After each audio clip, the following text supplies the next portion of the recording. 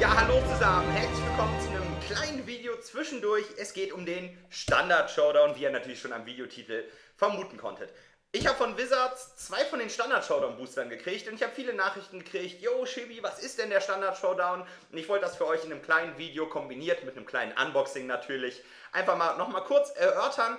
Also vom 26.11. November bis zum 17.12. im Dezember finden vier Standard-Showdowns statt in verschiedenen Läden, eventuell auch in eurer Nähe. Dazu lasse ich euch mal unten den Link von der Wizards Homepage in der Videobeschreibung. Da kann man nachschauen, welche Läden bei einem in der Nähe eben diese Standard-Showdown-Turniere ähm, ja, veranstalten. Es wird Standard gespielt, offensichtlich anhand des Namens. Es sollen kleine drei bis vier Rundenturniere sein und es sind insgesamt eben vier Turniere, vier Samstage in dem eben genannten Zeitraum. Ja, dort in diesen Standardturnieren kann man eben diese Standard Showdown Booster gewinnen. Sind natürlich ein bisschen was Besonderes. Es sind auch nur drei Kartenbooster, die es eben dazu gibt. Aber es können besonders coole Karten da drin sein. Und was das sein kann, wollen wir uns jetzt auf jeden Fall mal anschauen. Ich habe mich natürlich ein bisschen schlau gemacht.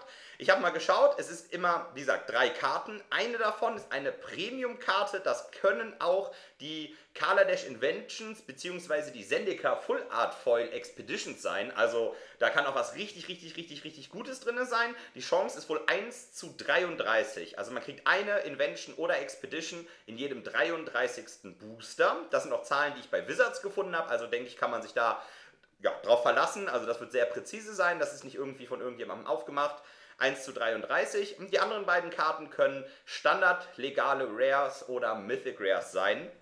Da äh, kann man dann wohl alles Mögliche eben bekommen. Doppelseitige Karten können zum Beispiel nicht drin sein. Also es gibt so ein paar Ausnahmen, aber wer sich das nochmal ganz genau angucken will, auch nach einem Store suchen will, wo man das dann spielen kann, wie gesagt, unten in der Videobeschreibung findet ihr dann noch den Link. Da könnt ihr nochmal selber reinschauen. Ja, wir wollen jetzt ins Unboxing übergehen. Soll ja auch nur ein kurzes Video sein, so ein bisschen ein Infovideo. Und ich bin mal gespannt, ob wir hier die große Chance 1 zu 33 wahrnehmen und vielleicht eine Invention oder eine Expedition sehen. Bisher habe ich ja noch nie in einem regulären oder normalen Unboxing oder in so einem Gut, das ist jetzt ein besonderes Booster oder in einem Booster sowas aufgemacht. Weder zu Sendika-Zeiten noch zu Kaladesh-Zeiten habe ich es geschafft, eben ein, äh, ja, einen dieser besonderen Karten zu machen. Okay, wir haben eine Rare. Ich bin mal gespannt. Wir schauen mal, was wir hier haben. Ich will, ich will, ich will ja nicht spoilern. Wir wollen es ja spannend machen. Also, ich tippe mal, es kommen die beiden Rares, Mythics und ganz hinten ist die Premium-Karte. Ich bin mal gespannt. Also, das erste ist eine Kaladesh Rare, Captured by the Consulate. Vier Mana. Äh, wir verzaubern eine Kreatur, die wir nicht kontrollieren. Die verzauberte Kreatur kann nicht angreifen. Und immer wenn ein Gegner einen Zauberspruch wird, wirkt, der ein einzelnes Ziel hat, dann wird das Ziel umgelenkt auf die verzauberte Kreatur, wenn dem denn möglich ist. Okay, mittelprächtig. Naja. Eine Foil ankommen? Was? Das eine Premium-Karte, eine Foil?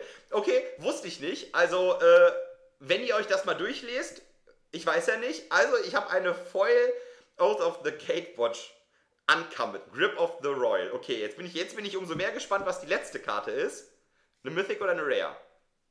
Oh, nur eine Rare. okay. Forbonding Runes ist immerhin ein Dual-Land, ziemlich gut. Kann man immer spielen, sowas kann man ja immer behalten, sage ich ja sowieso immer bei jedem Unboxing. Wenn man mal eine, ein Rare-Land findet, was zweifarbig ist, kann man das behalten, besonders wenn es seine Lieblingsfarbkombination ist. Und dafür sind die Länder natürlich ganz gut. Jetzt natürlich die Frage, wie war das Booster sortiert? Ich denke mal, das waren die Rares bzw. Mythics und das war meine Premium-Karte, die halt in Foil ist. Also in der Mitte ist die Premium-Karte. Okay, dann war das Booster 1. Bin mal gespannt. Ein zweites haben wir ja noch.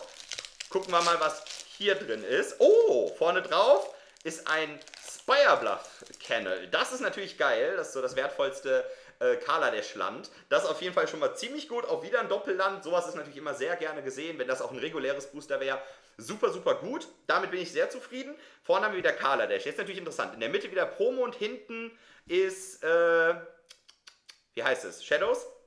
Schauen wir mal. Äh, letzte Karte, ich drehe jetzt erstmal die letzte Karte um, damit wir nicht die mittlere sehen, ist, ist ein From Beyond aus Zendika. 4 Mana, Devoid Enchantment. Im Upkeep gibt es einen 1-1er farblosen Eldrazi-Token, den wir opfern können für einen Mana. Und wir können für 2 Mana das Enchantment opfern und dann unser Deck nach einem Eldrazi durchsuchen und die Hand nehmen. Ja, ist nicht so schlecht. Okay, das sind dann unsere beiden Rares. Und jetzt hier ist nochmal die große Chance auf was Gutes. Und... Ein Foil Swamp. Gar nicht mal schlecht, nehme ich. Da ist mir ein, ein freudiges Hopp ent entwichen. Ja, cool. Das war also wieder, jetzt haben wir es, glaube ich, auch alle verstanden. Gut, dass wir das Video mal gemacht haben, dass wir die Booster mal sehen konnten. Also wir haben äh, erste und dritte Karte ist Rare bzw. Mythic, standardlegal und in der Mitte ist eine Foil. In diesem Fall Grip of the äh, Royal und ein Full Art Swamp. Das gefällt mir. Ja, gar nicht mal schlecht. Also wenn ich hier auf so einem Standardturnier noch zusätzlich hier so ein, zwei Booster kriege und da sind schon ganz geile Karten drin, also auch wenn ich jetzt hier nicht die besten Karten aufgemacht habe, sind das schon ziemlich gute Sachen, wie ich finde. Also in einem Booster, ein voll Full Art Basic und ein super geiles Land, kann man echt nichts gegen sagen. Cool, ich finde es auf jeden Fall eine coole Aktion von Wizards. Mehr geht natürlich immer, ne? also je größer der Preispool bei einem Turnier ist, desto besser. Denke ich, ist auf jeden Fall eine coole Aktion und nochmal hier so ein paar Special Booster zu sehen, finde ich ganz cool. Jetzt sind wir auf jeden Fall alle schlauer, denke ich. Ihr könnt hier mal Kommentare da lassen, ähm, ob ihr vorhabt, so einen Standard-Showdown zu spielen und ja, bin mal gespannt. Wenn ihr so ein Ding gewinnt, könnt ihr mir sehr gerne auf Facebook oder auf Twitter ein Bild schicken von eurem Booster, was ihr aufgemacht habt. Bin auf jeden Fall gespannt. Ich wünsche euch auf jeden Fall viel Erfolg für den Standard-Showdown. Macht was draus und ja, hoffe, das Video hat euch gefallen und erstmal noch einen schönen Tag. Bis demnächst. Ciao. Solide, dass du das Video bis zum Ende gesehen hast. Vielen Dank dafür. Ich hoffe, das Video hat dir gefallen. Lass ruhig einen Kommentar da, wenn dir irgendwas aufgefallen ist oder irgendwie Vorschläge einfach da sind. Ich freue mich immer über die ganzen Kommentare der Zuschauer. Einen Daumen hoch. Zeigt mir auch, welches Video euch am besten gefallen hat, damit ich eventuell weiß, wovon ich mehr produzieren soll. Ihr findet mich zusätzlich natürlich noch auf Facebook und Twitter, falls ihr noch mehr Infos rund um Magic haben wollt. Wenn ihr den Kanal weiter unterstützen möchtet, könnt ihr auch einfach mal unten auf meiner Patreon-Seite vorbeischauen. Auf jeden Fall vielen Dank für den ganzen Support und wir sehen uns an dem nächsten Video. Ciao!